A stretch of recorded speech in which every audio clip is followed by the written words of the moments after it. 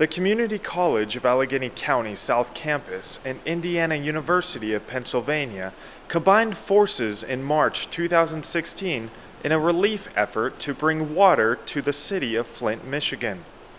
What's it like coming here and um, seeing the crisis up close and personal? Well, it's definitely personal for me. I'm originally from Michigan, born and raised, and so Flint's been a second home to me, and I'm just really happy to come back and get a chance to really connect with the community. There's a lot of love here, there's a lot of spirit here, and everyone here has been very well receptive of us coming out to help help the community, and so we're just really happy to be here. And we're, we're representing the Community College of Allegheny County and Indiana University, Pennsylvania, and again, you know, we're here to serve. We are really grateful for all the love and, and the support that comes from out of town um, and from the different sororities in Flint. I would like to say that when you're in a community, working in a community, surrounded by a community that's had something as fundamental as water be basically poisoned, you don't realize the gravity of it until the national media starts calling attention to it. It's like your normal, you realize might not be normal. Every person has to have at least eight glasses of water a day to drink. You need water for cooking and washing your vegetables and bathing it. So we have 100,000 people in the city, times even just the eight. It's 800,000 bottles a day. So all the water that we're getting is by donations and it's through volunteers. So we have not gotten one bottle of water that's been provided by the state. The non-governmental agencies uh, is the ones that such as like the Red Cross, they would come to your home and they would bring one case of water uh, and a purifier. Downtown has been tested for water and retested numerous times. They're not finding lead in this section of town.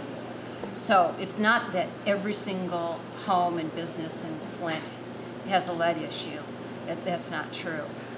The older sections of towns do. And it's been almost like sometimes neighbor, when one neighbor to the next, you'll have uh, no lead, and then the next neighbor will have some lead in there. Sometimes we think that we feel that the media has overblown the situation. It is a critical situation. There have been children that have been affected by the lead in the water, and it's tragic what's happened there.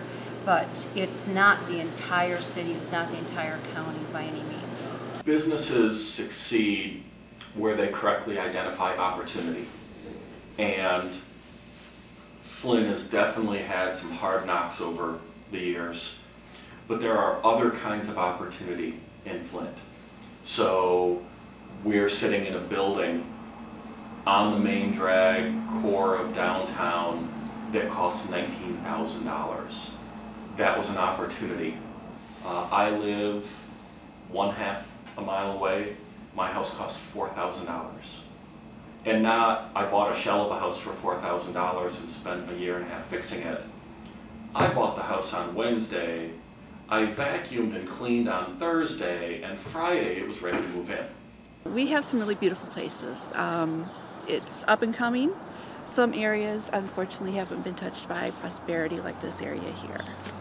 Flint is a multitude of things, and one of the things that it is is very beautiful. We have some amazing homes that were built in the 20s um, by the uh, people who started GM. Um, the neighborhood I live in, for, uh, for example, um, all the homes are from the 1920s and 30s. Two, three stories, all wood floors. Um, any place else it'd be half a million to a million dollars.